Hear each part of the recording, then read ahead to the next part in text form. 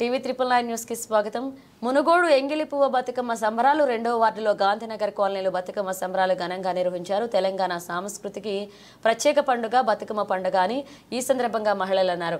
బుధవారం బతుకమ్మ ఉత్సవాల ప్రారంభంలో భాగంగా ఎంగిలి పువ్వు బతుకమ్మ వేడుకల్లో వారు ఎంతో సంతోషంగా పాల్గొన్నారు.